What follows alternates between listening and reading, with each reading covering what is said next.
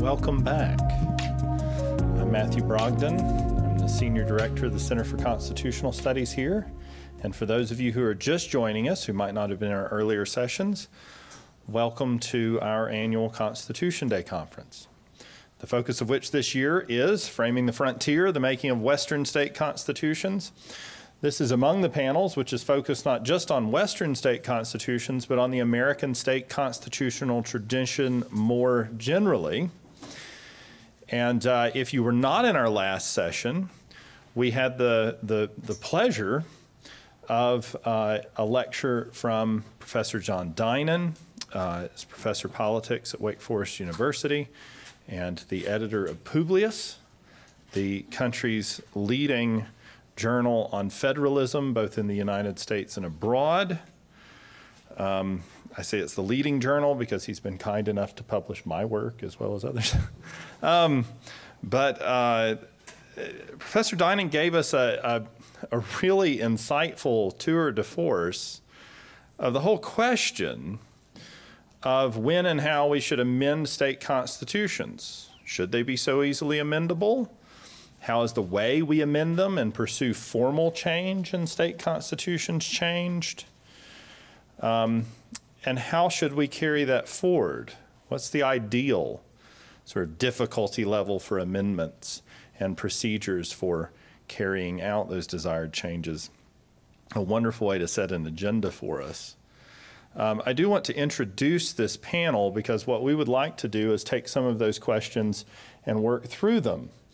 And uh, when I've introduced the panel, you'll see why we've assembled this group and why it's, um, why it's a very uh, apt group of scholars to tackle this question.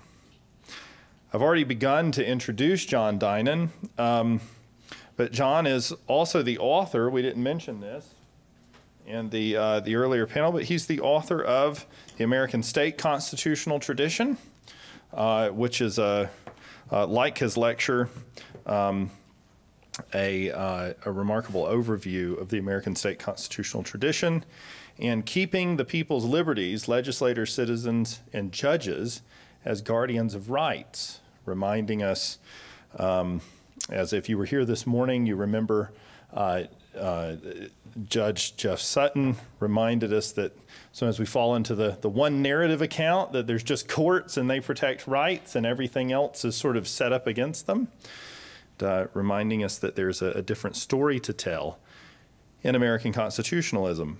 Also joining us on the panel is Nicholas Cole. Dr. Nicholas Cole is a senior research fellow at Pembroke College, Oxford, and he is the creator of the Quill platform and the director of the Quill project, um, with whom we've been working these uh, several years now and uh, carrying forward the study of constitution making, especially at present in the American states. We also have Adam Brown, um, our dear colleague from down the road. He bleeds blue rather than green, uh, but he's from our brethren down at BYU. And uh, Adam is an associate professor of political science at BYU. He is also the author of, and I've thrown a book on the floor, he is also the author of The Dead Hand's Grip How Long Constitutions Bind States, um, which is going to win the award for uh, most provocative title. Uh, he tells me that he argued with Oxford University Press for some time, that they put a sort of actual dead hand gripping a quill on the cover, and they felt like that was a little too, in his words, metal for Oxford. Anyway. Um, we also have Robinson Woodward Burns joining us from Howard University. Robinson is an assistant professor of political science at Howard, and he is the author of Hidden Laws how state constitutions stabilize American politics. Uh, we have some questions about that. Um, and we have Brian Phillips Murphy joining us. He is an associate professor of history at Rutgers at the University at Rutgers University Newark. He's also affiliated faculty with the Center for State Constitutional Studies there.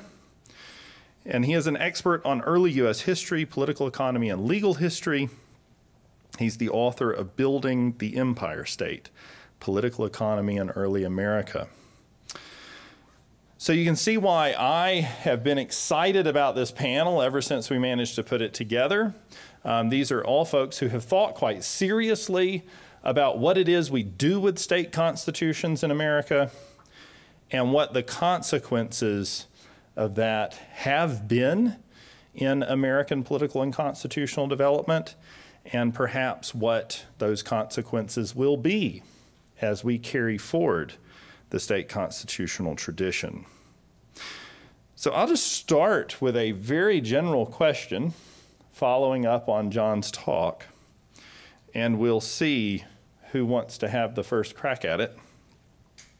Is the malleability of state constitutions a good thing in comparison with the state constitutional, or in comparison with the federal constitution? Uh, has this been, we can talk about this in historical perspective, has this been beneficial for American politics that state constitutions are so changeable and accessible to alteration? And will it continue to be so?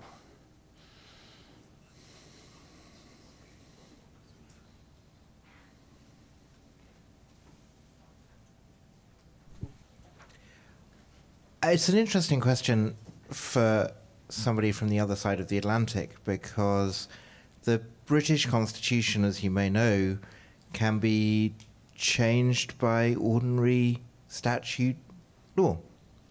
Um, and in fact, we decided to secede from a large political union on the basis of a vote held one Thursday afternoon, uh, absolutely within the margin of error, where a change in the weather would probably have uh, resulted in a different vote. There's there's really good political science uh, that that um, that says the weather changes votes by a few percent, um, and so on.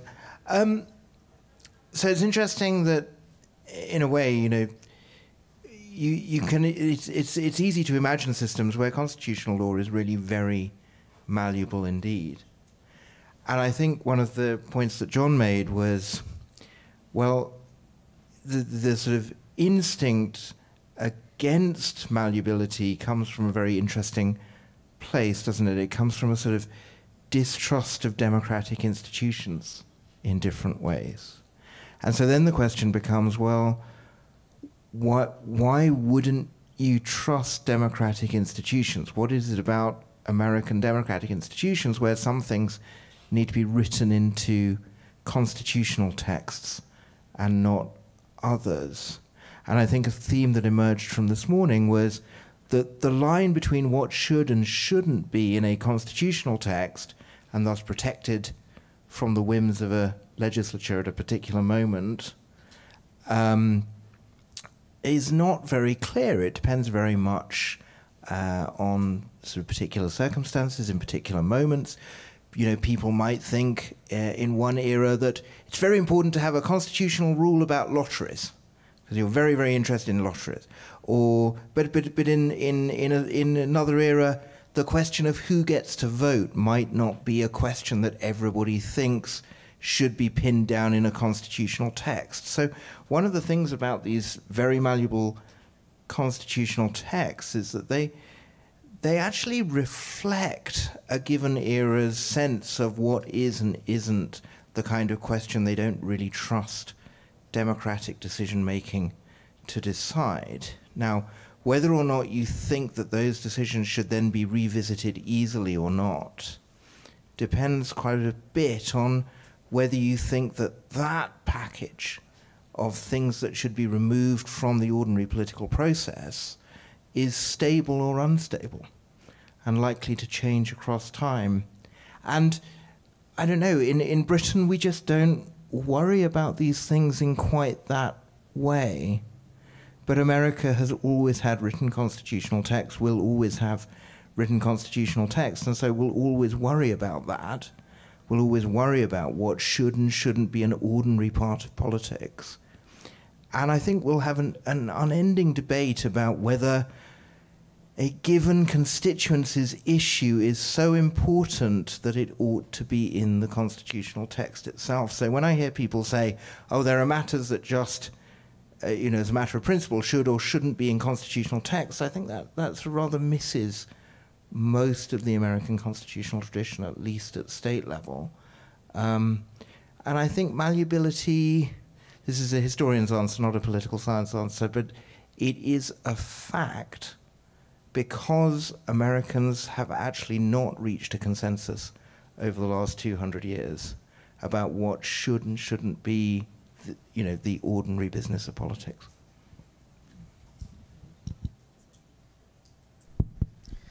Yeah, so there's this important question as to uh, what the correct thresholds are for amendment, and, and that's a normative question. It's, it's a tough one to answer.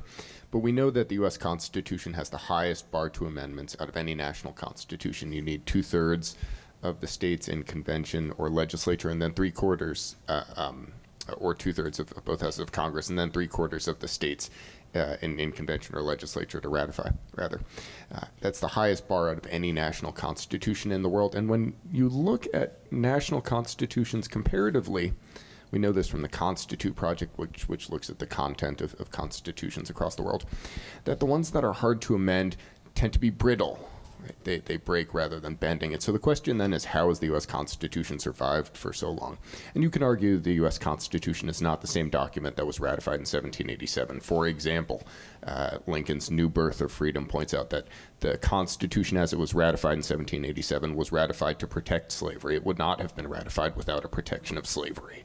That it existed perhaps solely because of this doc, uh, this uh, protection of slavery, as the historian Mary um, um, uh, Sarah, uh, Mara, Sarah, Mary Sarah Bilder, there we go, uh, has pointed out recently. Um, so you know we may not have had uh, kept uh, we may not have kept that document over over the years in its exact form, but roughly we have. And one way that we've been able to keep it again is by deferring national issues down to the, the state level. Fundamental issues can be resolved through state constitutional reform through amendment or judicial reinterpretation or wholesale constitutional replacement. But what makes this more difficult now, as John pointed out, is that state politics has become polarized. We know this from Dan Hopkins' work, The Increasingly United States which shows that uh, state legislatures tend to be more polarized. As John pointed out, uh, we get single party control more often in, in, state legislatures. And so some of this um, uh, sense of, of, democratic experimentation, right, this uh, idea that states operate as laboratories of democracy, as, as Justice Brandeis pointed out. Some of this is beginning to fade away, and especially in competitive states where Republicans have legislative majorities that are, are threatened by sort of popular uh, movements. I'm thinking again here of Ohio state legislature, which is to the right of the state electorate trying to preempt the state electorate from protecting amendment under its constitution. We see in states like this actually moves against majoritarian democracy, partly through things like gerrymandering and voter uh, disenfranchisement, and to some degree through election subversion, although some of that has, has, sort of failed over the last few years. And so I'm worried now in the present that the state's historical function of, of being able to vent national popular uh, sort of pressures, national pressures for reform, that some of that may be starting to sort of fade, and, and that we may be losing this really important mechanism that's preserved the American Constitution for so many years as we see polarization and especially democratic backsliding happening at the state level. But I'd be curious to hear what other people think.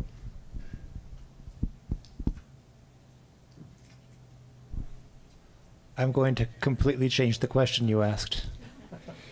But first, I'm going to thank you for flying so many people out from the East Coast, from across the ocean. When I look out that window, I see a steeple of a church that's located four doors from my house. Um, so thank you for doing all this work of flying them out.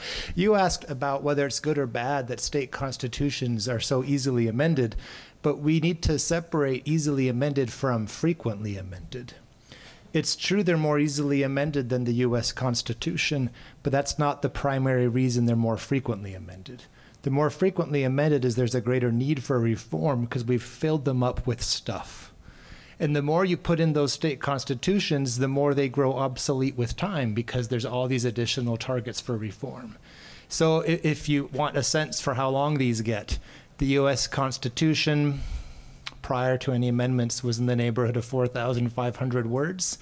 The shortest state constitutions in New Hampshire and Vermont, I want to say, are roughly that length, but a little longer.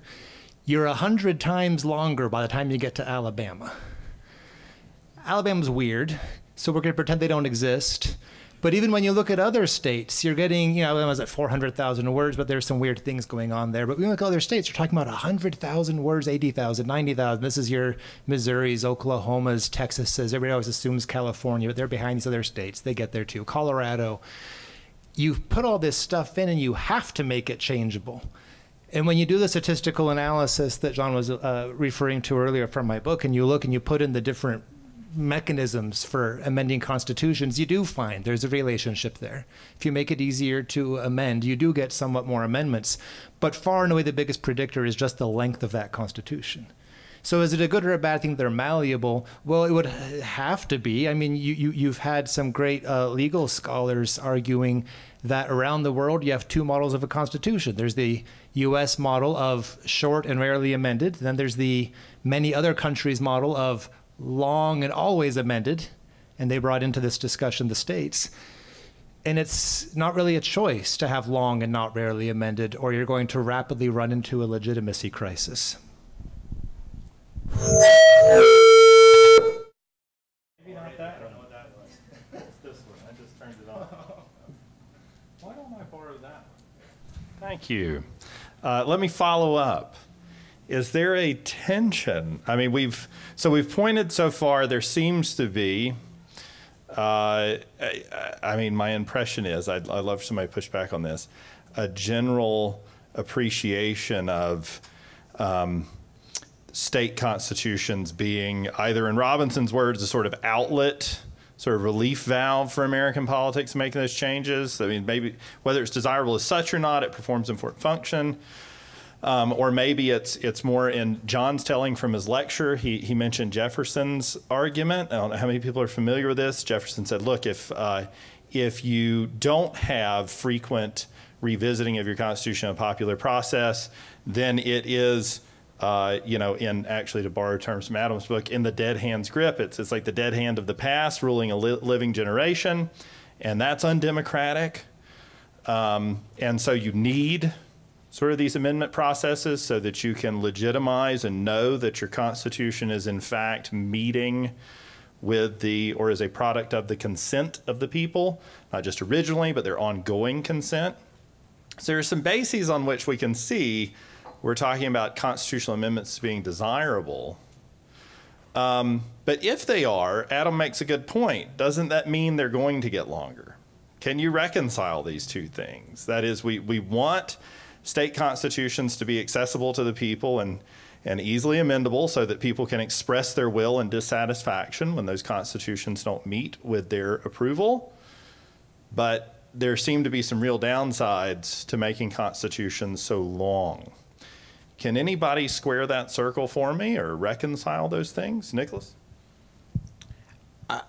I think it's probably helpful to remember where the impetus for popular amendments came from. And it wasn't really to do with questions of legitimacy.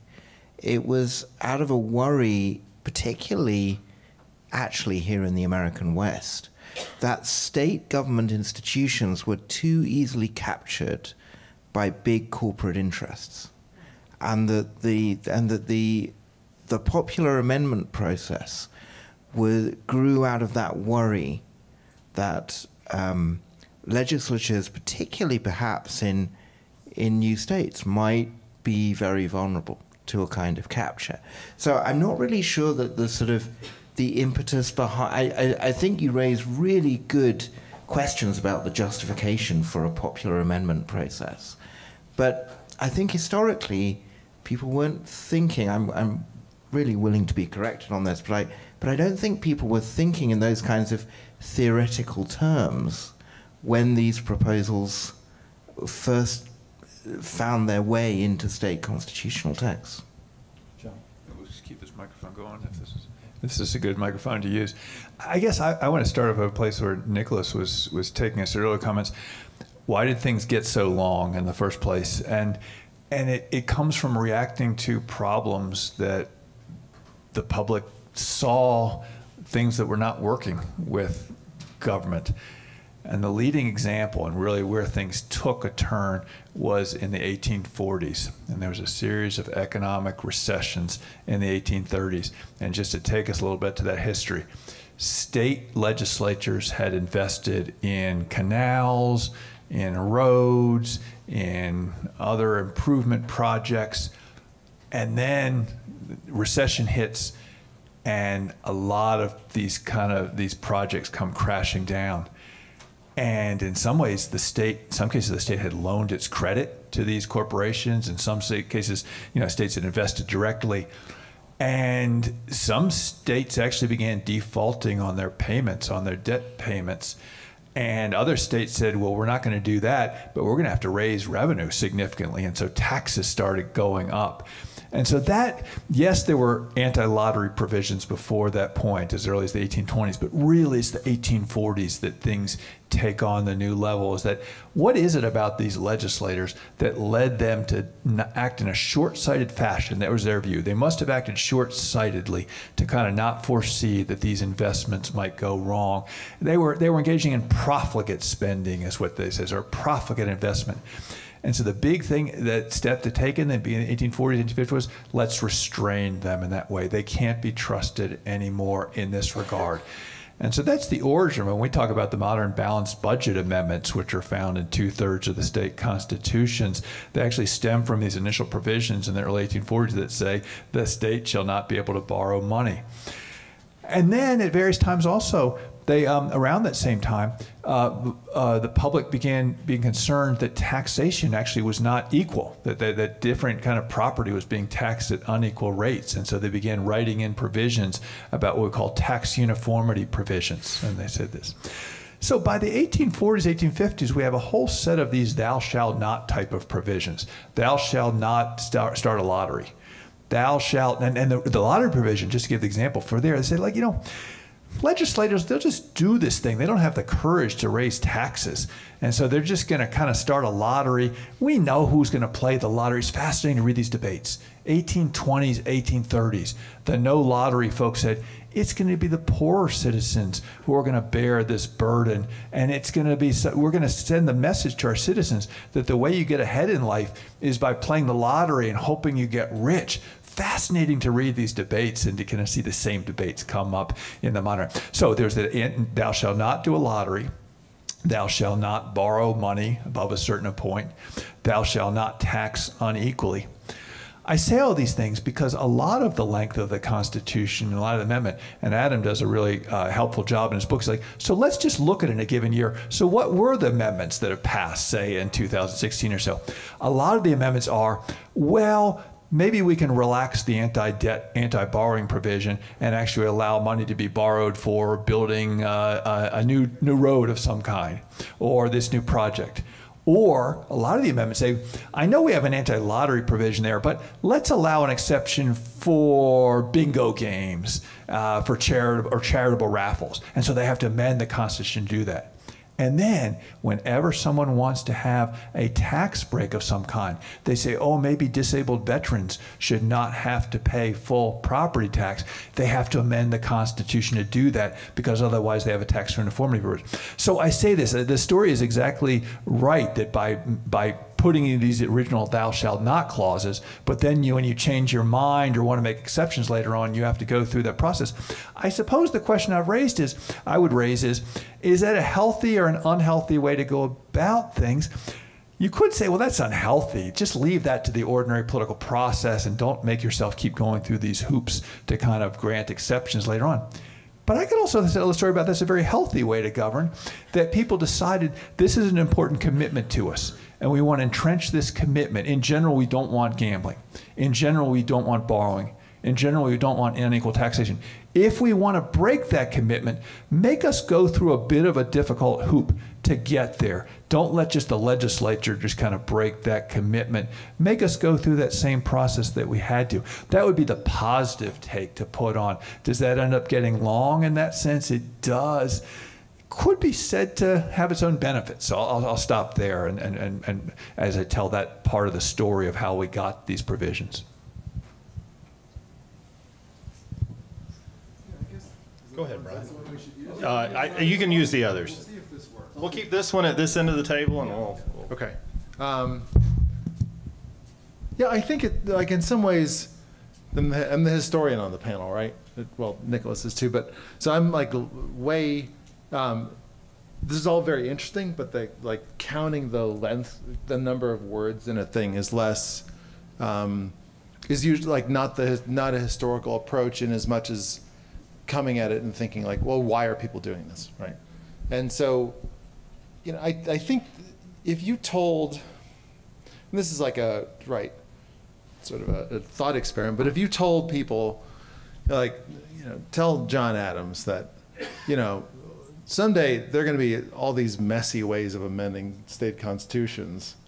Um, you know, it's kind of, there's no uniformity to it, and they're long, and they're, you know, like, there's random stuff in there um, that we wouldn't expect to see in there. Uh, I don't think they'd have any problem with that because they would see it as a sign of vigilance, right? And of the and of a sign of civic of a deep fabric of civic engagement, right? An entrenched concern with how these different states are governed, each reflecting particular local traditions um, and local customs, right? So I think like there's a in so many ways, there's an under. I, mean, I think like, there really is an underlying stabilization factor that we see, even amid what looks like, you know, what looks like us today, like a lack of uniformity and, and a cause for concern.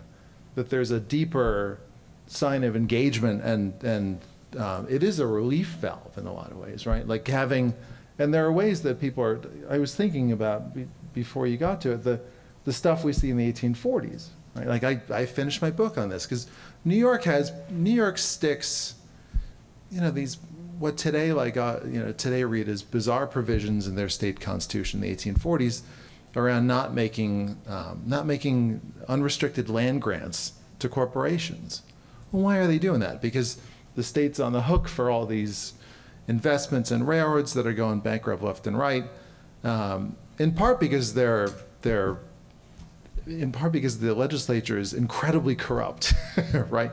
And they're everybody's on the take, right? And so, what do you suppose? How?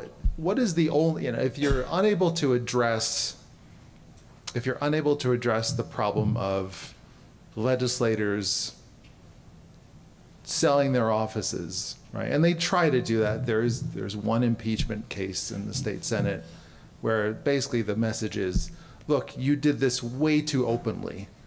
We have a great thing going on here, and you are messing it all up by advertising that we're all cor- as corrupt as you. Um, and so we're going to punish you specifically for speaking out, uh, for, for being too, um, too blatant, just too, too prominent. Uh, like, what are people like? There aren't a lot of remedies at hand for that, right? Um, so this is this is an available means of addressing that. Um, and I think if you look at the, I just I think if you look at the, um, I mean what I what I really find interesting is that sort of in the lack of uniformity is the way the degree to which these are really local.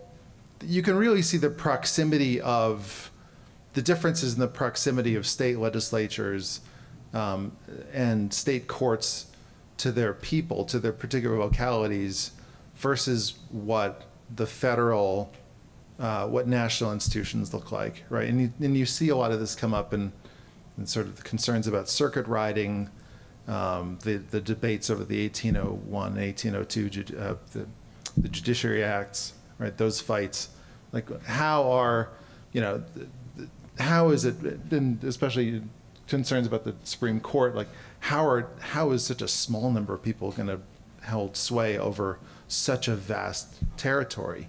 Um, that's why I think that you know, I'm really appreciative of, of a lot of the work you have all done up here um, in sort of reminding people, um, because historians have kind of lost the plot on this in some ways about how important state state constitutions and state courts are, right, and state institutions are in the way that the go- the republic is actually governed on a daily basis and held together. I just want to introduce one other kind of a topic in here because when we talk about amendments, and I was saying, oh, some of them are thou, thou shall not pass these policies, and then there's thou shalt pass these policies. I want to put in one other product of malleability, or the and that is there's been a lot of of consideration of the design of governing institutions and a lot of experimentation with the design of governing institutions. So, so some of it is policy matters. But a lot of it is is that Americans at the state level saying, so if things aren't working so well with the legislature or with the governor, is there a different set of institutions or different institutional design that would work better? And so it's probably we, we always tell the story okay, one state has unicameral legislature, it's Nebraska. There were three states in the early republic that had unicameralism. That's Pennsylvania, Vermont, and Georgia. Yes, that's, that is the story. But the amount of degree of consideration of adopting a one house legislature, that's just the tip of the iceberg. It hasn't gone forward, it hasn't succeeded in a lot of places. But there's been a lot of folks in Constitutional Convention and other ways that have given very serious consideration to and have come pretty close to saying, let's get rid of one of these houses because actually all we get with two houses, we're paying two sets of salaries and we're increasing the chances of gridlock and we're especially increasing the chances of the special interests. If one reads state Constitutional Convention debates, one sees a predominant concern with the lobbyists, the special interests. That just gives the special interests one more avenue to prevent the will of the people from being going all the way through and being expressed. And so there's an opportunity to see is a two house legislature or one house legislature better? How about the way that we structure our judges and our courts? I mean, yes, the, all the states started off with an appointed judiciary. And then they said, well, are there other models? And judicial elections became the norm from the 1840s onward. And then beginning in the 1910s, folks say, yeah, judicial elections, but how about nonpartisan judicial elections? And then by the 1940s, the Missouri plan takes hold where and it becomes the dominant one of they say let's have a commission that selects the judges and then the judges serve them at a time and then we let the people come in do a yes or no vote or even, I'll just give two other examples how we structure our executive branch. Should it be a long ballot or a short ballot? Is it more, do we hold more accountable our executive officials if we just elect the governor and then let the governor appoint all the other positions of meaning? Some states have done pretty close to that. Or are we going to get better accountability of our executive branch if the people elect the governor, the attorney general, the lieutenant governor, the labor commissioner, the auditor, the uh, state superintendent, the insurance commissioner, and if they're then popularly elected. States have amended their constitution routinely to try out these experiments, see which ones worked. And the final thing I'll mention is obviously the very experimentation with direct democracy itself. That at the beginning, at turn at the turn of the 20th century, folks begin to have doubts about whether representative government is succeeding in all respects. And they say, let's provide an assistance to representative government by providing this other opportunity for the people to put measures on the ballot directly that then gets adopted in nearly half of the states. So, a lot of rightful discussion about policy matters. We haven't talked about rights, of course, but there's another way in which the amendment process has been used to expand rights. But I just want to put in that mix. That's one of the consequences of malleability is to allow the federal level, now let's add up the number of institutional amendments that we've had in that sense. You know, they tweaked the electoral college very early on, direct election of senators. We moved the inauguration day for president back a month and a half. Not a whole lot else in terms of institutional change. Is otherwise it's frozen in that sense in the institutional states. That's one. That's one. I would put that as a plus of malleability is to allow that experimentation. And one would say laboratories of experimentation in regard to what kind of institutions you, you're, you're guided by. So let me interject another question. Um, I actually have two, but I'll pick one. Um, this is prompted in part by Robinson's book, Hidden Laws, and I'll repeat the subtitle How State Constitutions Stabilize American Politics. And a couple of us have used the phrase relief valve. And what that suggests to me is that maybe it's not such a bad thing that we have a disparity between malleability at the state level, relatively static So, it, well, you either say stable or stale at the at the federal level.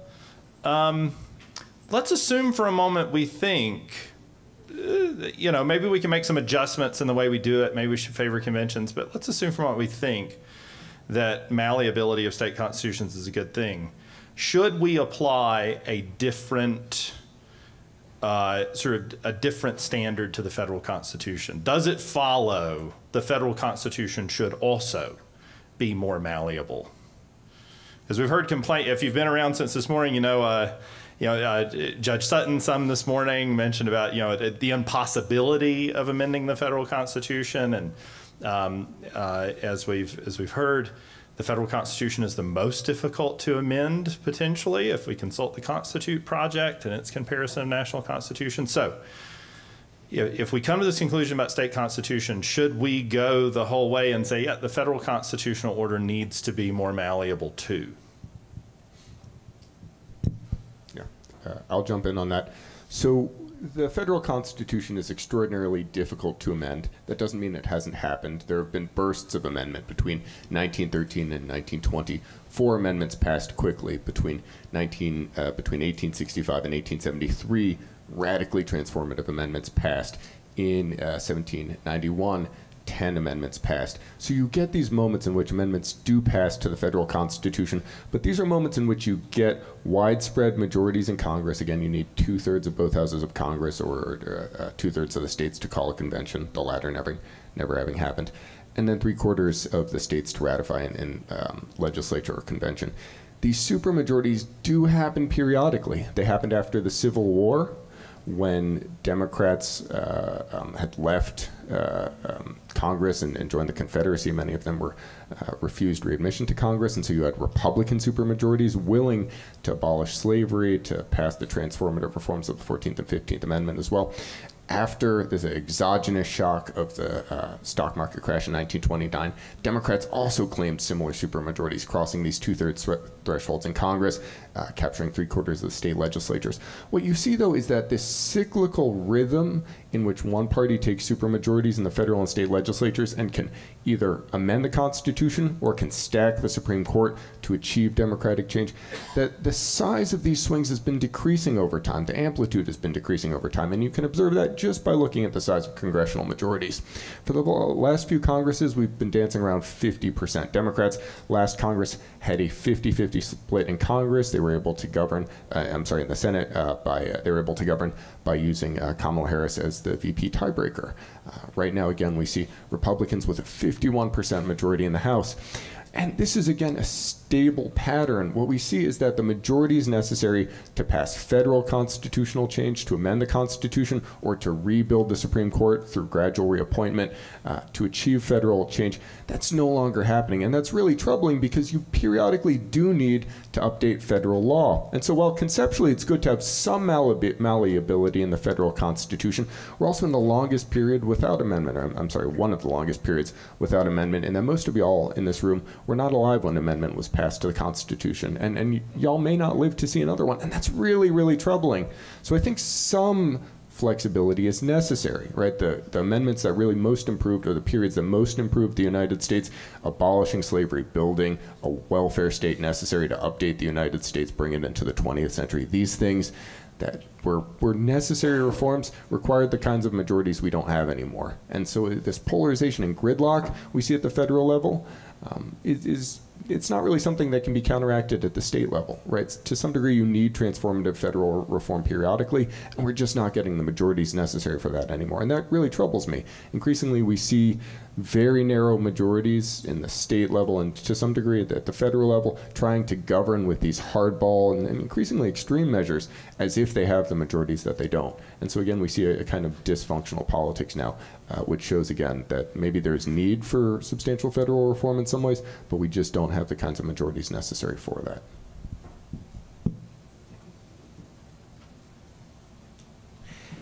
It takes just about as long to fly from Salt Lake to DC as it takes to fly from DC to London.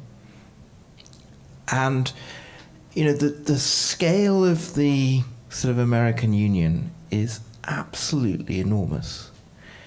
And some of the flaws that people perceive in the US Constitution are the compromises dating from the founding that weren't very scientifically created um, that try and balance power and trust across a union of that size.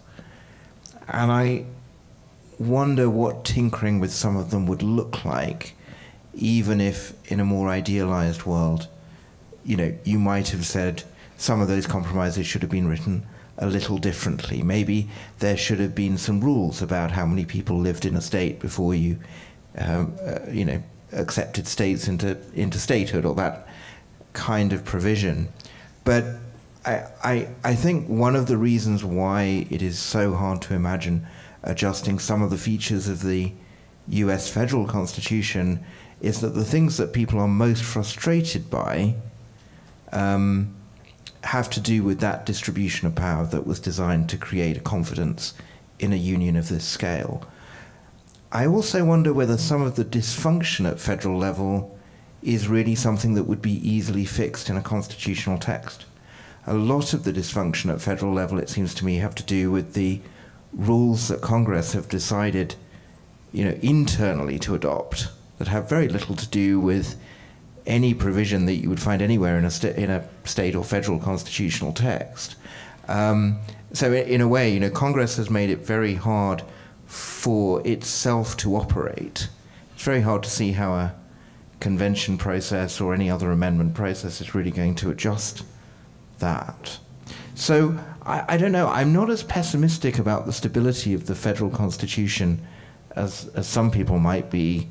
Um, partly because I think actually one of the things that it has done, with the notable exception of a civil war, um, is hold together a really remarkably diverse union, albeit through some pretty imperfect compromises that have not worked out the way that somebody like John Adams might have imagined.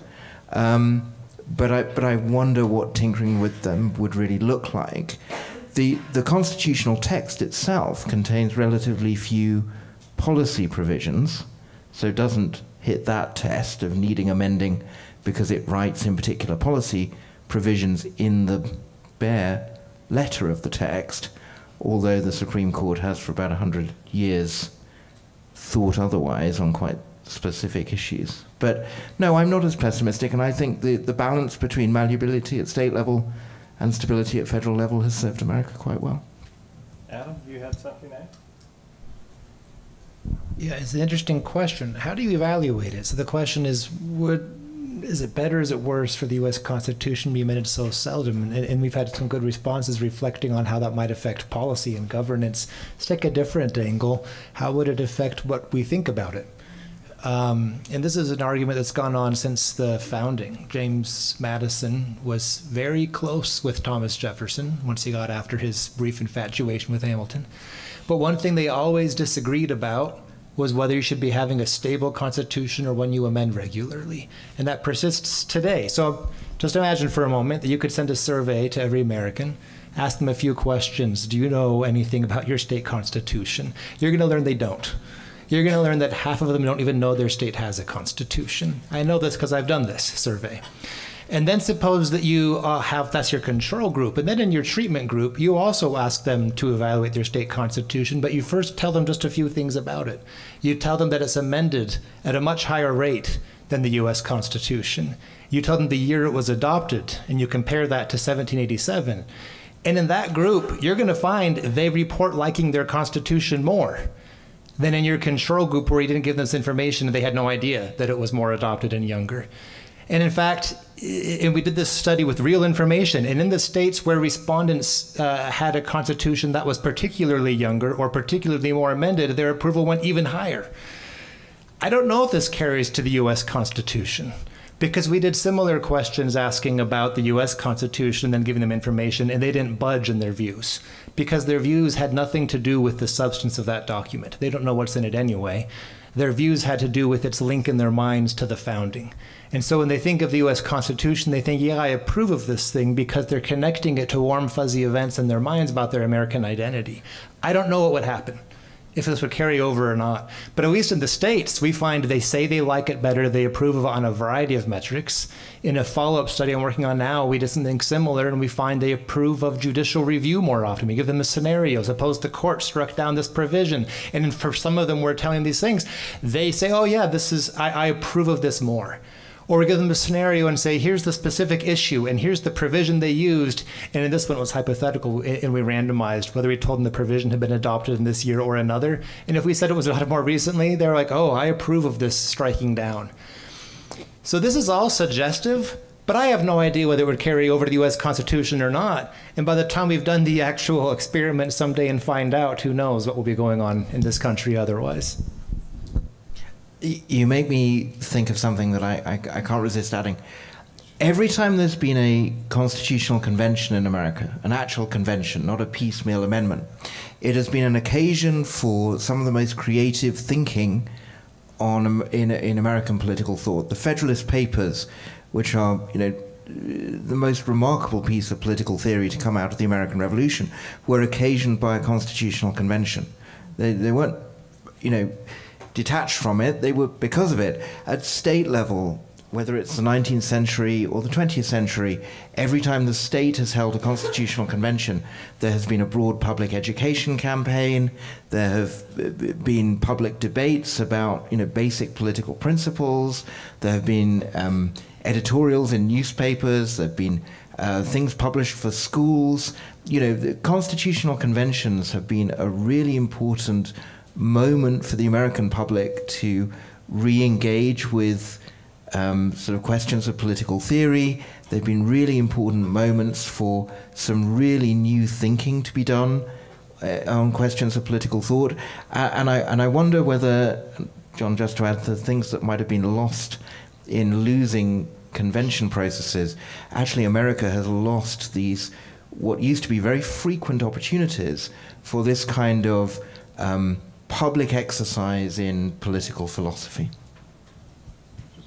I'll just add to that, and this, this obviously a lot of students here and part of the Quill Project are obviously know this inside and out, but the, the, the newspaper and public coverage of conventions when they took place. I mean, you wanted your reporters there, not just describing, you know, the, the headlines of what happened, but reprinting the speeches and the debates.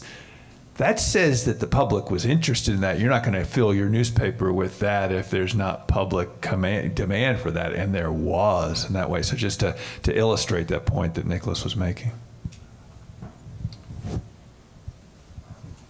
I want to ask one or two more questions, and then we're going to open it up for questions from the audience. Um, but one of these is we, we've talked a lot about the virtues of constitutional conventions as opposed to, uh, and I think the best, best catch all for this might be piecemeal um, amendment processes. And I wonder uh, what might be some of the virtues of piecemeal amendment processes? Uh, I think we've touched on this a little bit. I've heard it come into the conversation sort of, uh, you know, in a, in a very subtle way. But I wonder if anyone has anything to say about you know the, the, the virtues of actually being able to tackle very specific changes in a very public, maybe you say plebiscitary way that references the public directly, uh, assembling voters rather than relying on a deliberative convention.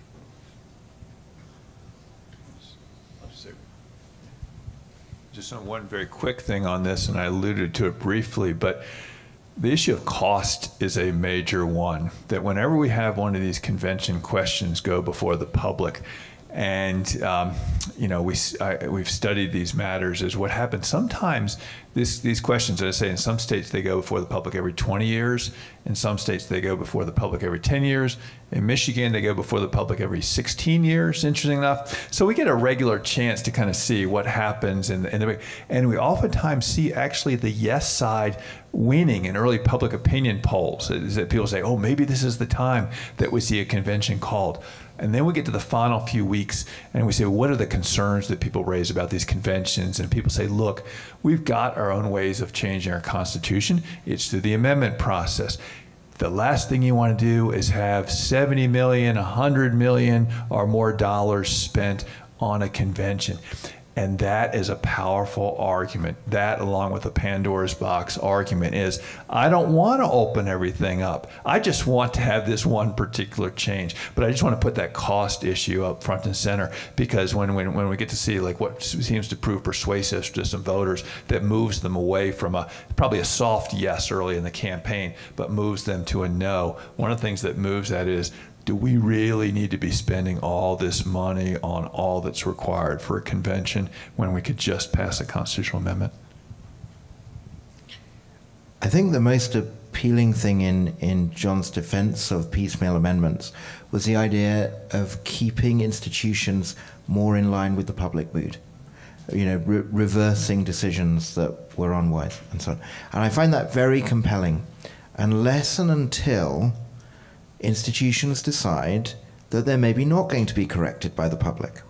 You know, what, what happens when the public in a particular state pass an amendment that maybe the legislature just doesn't like? Um, and does that then start to bring the whole process into disrepute at a whole new level? What will happen when the voters try and overturn a court judgment and the courts say, well, actually, no, we just don't agree. So, so I think there's a, and these are not necessarily hypothetical points, so I don't want to name particular states, but um, you know, th- these are this is currently a live issue in some places where voters have very clearly said something, and um, legislatures and executives have said, "Well, we just don't like that answer," and I, I, I worry that there's a ticking time bomb, to use your phrase there as well with legitimacy. But I, I am I do find the general point compelling that maybe this is a mechanism to keep institutions more in line with the public mood.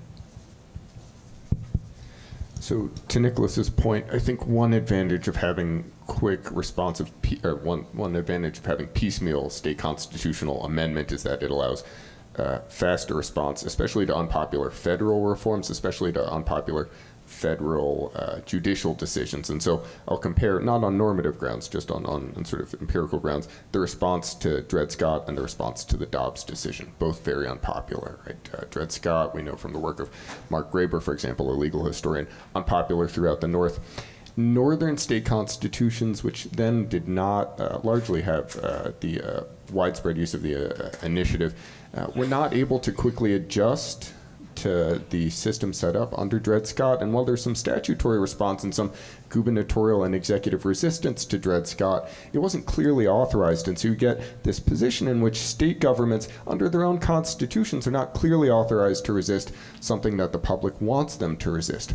Dobbs, unpopular at the state level. We know from stratified stamp, uh, sampling that uh, there's a simple majority in favor of, of, upholding Roe in every state, which is a, a, really unusual kind of uniformity in American politics. Over 50% in every state uh, favored upholding Roe uh, from stratified sampling over the last couple of years.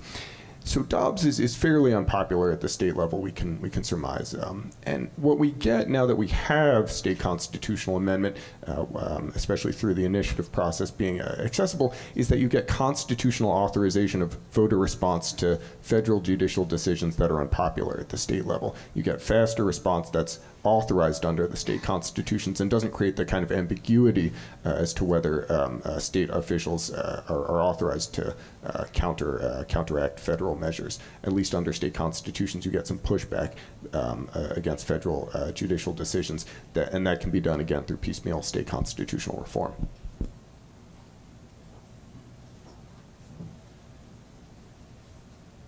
I want to make a make an observation, and then we'll we'll move to um, to some questions from the audience. Um, from the perspective of political thought, political theory, one of the things that strikes me in listening to this, uh, and Adam references a thing that Madison says in the Federalist Papers in response to this sort of um, uh, clamor for popular control of laws and so forth. He makes the observation at one point that the distinction between ancient constitutions, ancient democracies, and modern republics, he says, is the exclusion of the people in their collective capacity from all share in the powers of the government in modern republics. And uh, it strikes me in listening to this that we may have lived through, may still be living through, a serious shift from the republicanism of the founding and early 19th century, which wanted us to rely on institu- representative institutions to deliberate, conventions to deliberate, legislatures to deliberate, to a much more salutary view of direct democracy. And what we may really be talking about is not just constitutional amendments, but the whole theory of representative government. Do we still hold to Madison's view that the making of laws and the making of constitutions is best done by representative individuals who are gathered together in a deliberative body, who, unlike voters, have to look each other in the eye? If you're a voter and you don't like the other side and you demonize them, you can completely ignore them and stay in your echo chamber, show up at the polls, and cast your vote in favor of your prejudice, your side, team blue or team red, and pay no attention to the other side. You actually cannot do that in a deliberative body. You have to confront those who disagree with you. And the conviction of, of the, the preponderance of the founding generation seemed to be that's the best way to make laws. That deliberative process, and the people are confined to choosing those who represent them in that process.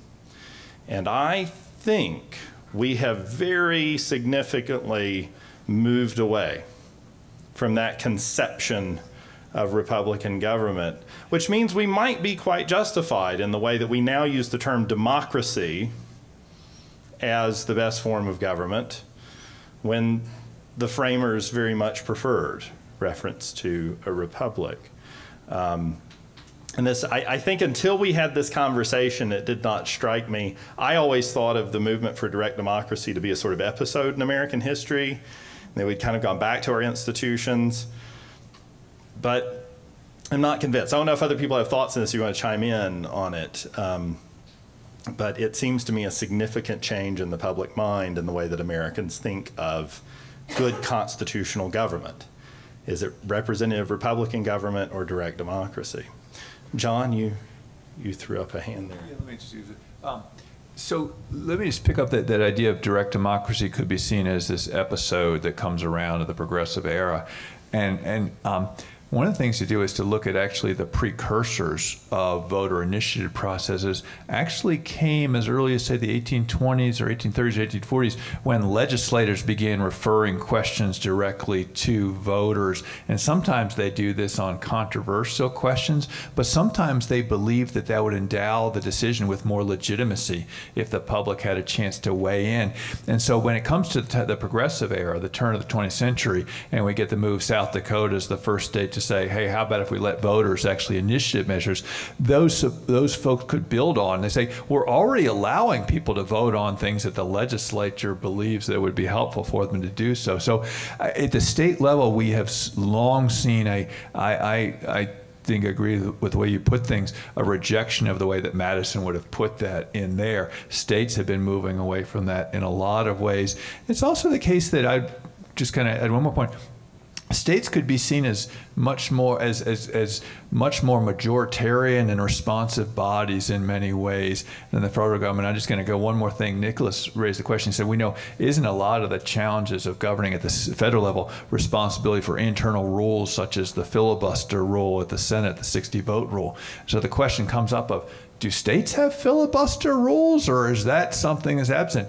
And about five states actually have supermajority quorum rules. You've seen the walkouts where exactly it's in a sense, in essence, a filibuster because a minority can say, we don't have the majority, but we're just going to leave the chamber in that way. So about five states have that, and about six states do actually have filibuster extended debate rules where they do it. But those are the exceptions. So in so many ways, state governments are designed in ways to seek the public voice, to, to request it, to allow the public to speak directly, and then to in, ensure in many ways that the rules of the of the chamber are more majoritarian than super majoritarian.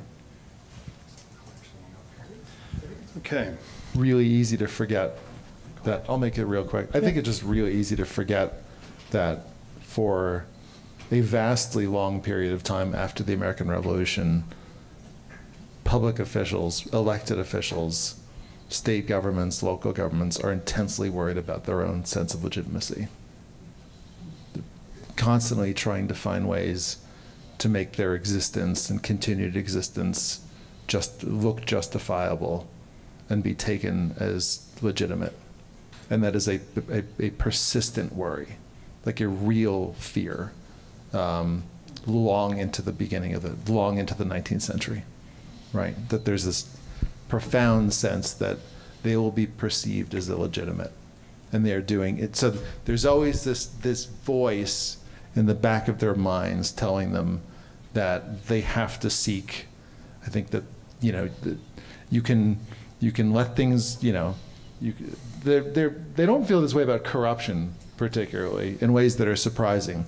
But um, if you look at things like early antitrust or anti-monopoly sentiment, um, the ways that corporate, you know, uh, uh, public incorporate, um, um, uh, free incor- general incorporation laws, um, they're they're sort of they're very sensitive to areas where they're being perceived as uh, eroding their own legitimacy, and they're responding to that um, constantly.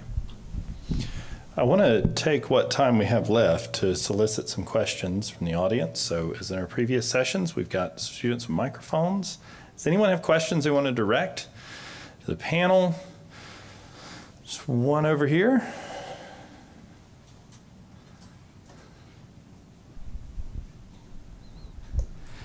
Thank you for a very insightful uh, discussion. My question has to do with uh, values, I suppose. Um, we've talked about republics and democracies, but the, the founders really viewed that a general diffusion of knowledge was necessary for these sort of processes to actually even occur. So it's sort of a proceeding uh, nece- necessary uh, that, that is in place. And my question is, uh, you know, what threats do you see that would disrupt the processes that are necessary for that general diffusion of knowledge? Um, I mean, AI is something that hasn't been discussed. How, how would that come into any sort of future projections of how we might see state constitutions or even federal the federal constitution be uh, impacted that way. That's just one, but there's there's others, I'm sure. I'll be. Ooh, that's one. That's the hot mic. I'll be really quick. Um, I'm old enough to remember when the, the internet was young, and everybody said, This is great. Public debate is going to be elevated. Ignorance is going to be impossible. It's going to be so easy to fact check everything that politicians won't get away with lying anymore. There will be general knowledge about laws being passed. The public is going to scrutinize spending. This is amazing governments all over Europe and in America are worried about the way that public debate is being manipulated by automatically generated content run out of server farms controlled by people that are hostile to the idea of democratic debate. Nobody has a good answer to that problem. But it turns out that the sort of early view that the, the internet would actually facilitate a very active and serious um, and, and sort of intellectually rigorous political process has not at this hour been borne out. In fact, um, I don't know whether it's worse, but it's certainly not as good as it was hoped to be. That seems to me to be a major threat to um, democratic debate, whatever your constitutional arrangements are. Robinson, you had something to add? So we know that voters are rationally ignorant most of y'all have a party identification. You know which party you identify with more in this country, although I would guess very few of you can actually fully describe to me the platform that that party gave in 2020 if you're a Democrat or 2016 if you're a Republican, last time Republicans uh, adopted their party platform. And that's actually pretty rational. I, as a political scientist, can't name either party's full platform, right? They're, they're fairly long, right? About a dozen pages. There's no reason to know the whole content of a party platform. You use a party idea as a heuristic to guess which party is closer to your views. Uh, so th- this is what we call rational uh, uh, ignorance. Now, um, again, American democracy can actually function pretty well on ignorance. Only about 52% of Americans know state constitutions exist. I hope it's higher in this room, but that number has been really stable over time. Jim Zink, a um, political scientist at uh, North Carolina State University, found that over 30 years that number has been about stable. But in Ohio, a few months ago, a few weeks ago, voters knew the state constitution existed. And they might forget that, but when it becomes politically salient over a really important issue, people learn. And so we actually have a pretty functional republic with a, a pretty uninformed populace, right? And that that makes sense, right? You got a lot of things to worry about in your life besides what's happening in your state constitutions. But when it matters, you'll know, right? And so I, I think we actually can be functionally ignorant, or so far we have been. I'm not super worried that, that we're getting dumber. Adam? Uh, that was an answer beautifully consistent with political science where we are today. I, I would add two brief thoughts to that. The, the, the, only reason I would worry about that going, the first thought about the public, the second is with those who write the amendments. The only reason I would worry uh, uh about what Robertson said going forward is that there we see a concerted effort to make us confront things that force us to think uh, less there's a concerted effort to not make us have to think critically in our schools. So worry about that. Um, the other angle I would take to the question is thinking about are we able to spot bad amendments? Um, to their credit, voters ratify fewer initiated amendments than legislative referred ones. And if you're familiar with the political science research, you know why I give that as a credit Uh, initiated amendments don't go through a negotiating process, a committee process, a process where two chambers have to agree first, a study process aided by staff. Initiated amendments are typically written by some interest group, and they're nearly always inadequate compared to the legislative referred ones. And to their credit, voters notice the difference and they ratify them at much lower rates. There can still be a role for initiatives as a safety valve when there is something the legislature is not willing to do and the public wants. Another way to think about this too, though, is thinking about the processes we use to write them, and we can improve those. So, probably the best era here, let's go into Utah for a moment. The best era we've had in Utah in looking at our Constitution since it was written in 1895 was a period in the 70s and 80s when we realized that we had hardly touched our state constitution since it was written for over half a century, and it was getting out of date and the legislature created a constitutional revision commission. It was dominated by appointees from the House, from the Senate, from the governor, and then the commission would add its own appointees. And they would study one article at a time in depth, and they couldn't just put it on the ballot like the Florida Commission. They had to send it back to the legislature. But through this process, when this was created in 1969, 80% of the original 1895 text was still in the Constitution. 80%. 20 years later, only 40% of the original text was still there because one article at a time, they would study it in depth and send this to the voters. So, in part, my response to the question is let's make sure we keep, as voters, learning how to think critically. But in part, it's also if we're going to rely on piecemeal amendments, let's think about the ways we can make those as good as possible and the ways that we study them and prepare them to make them uh, consequential and comprehensive. I think we might have time for one quick question if somebody's got a burning question they want to ask. Did I see a hand? I feel like an auctioneer. I see a hand, I see a hand. There we go. Um, yeah, this is just kind of like an interesting question, I think. Um, but how, um, if there's a practical method to this, can we use state constitutions in the fostering of um, cultural identity in order to um, possibly bring unity where party divides are separating people. Um, because I know in Utah at least, um, there's a lot of Utah centric identity, whereas in some other states it's much more divided on party lines. So I was just wondering if you had any thoughts about how state constitutions can tie in, or if we should be trying to have stronger state identities. Okay. So I think how, how can constitutions form a basis for cultural unity that transcend partisan divides? Is that a fair rendition? Well, the process of writing them, as I think several of us have said, has historically been a great moment for people to uh, to, to sort of come together and think as a community. But I, I, I don't think difference within a political community is necessarily a bad thing at all. I think that the political process is about managing disagreement. And I think sometimes some of this debate becomes a little bit too focused on well, why don't we all agree, as opposed to actually the fact that most of the time, in most of America, differences are settled without violence. And that, uh, even though they're quite profound. And uh, I, I would celebrate that fact myself rather than look to sort of erase difference. John will give you the last word. I, I would just say that there are a number of constitutional amendments that go on the ballot that actually secure extraordinary ratification rates, suggesting a degree of consensus that's, that crosses the, the aisle.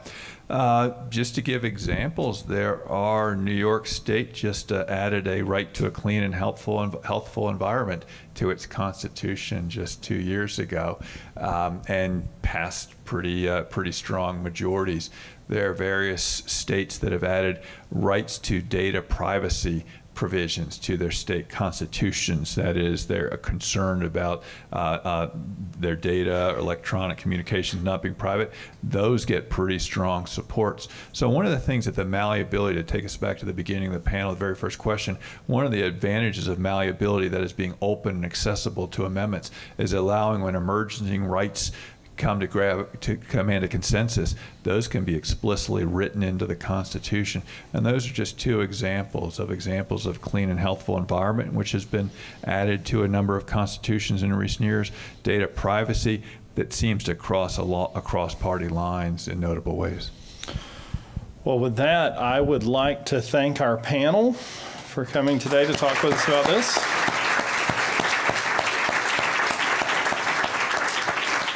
And I want to thank all of you for being here uh, to say a couple of concluding words. This is the last session today. We will be resuming tomorrow morning with a large uh, keynote talk from Judge Jeff Sutton um, over in the uh, Student Center ballroom. Um, that will be attended by somewhere in the neighborhood of 700 high school students, in addition to all of you who wish to join us. Um, I also want to say please do visit our events page at the Center for Constitutional Studies. We have a uh, civic educator event coming up. If you know any educators who uh, would like to think about civic thought and leadership, uh, think about forming citizens. Um, we also have in the spring our First Amendment conference. You'll soon be seeing details on our events page about that, uh, which will be on the subject of the rights to assembly and free association. Uh, so I would invite you back to some of our other events and invite you back tomorrow. Thank you for being with us and have a wonderful evening.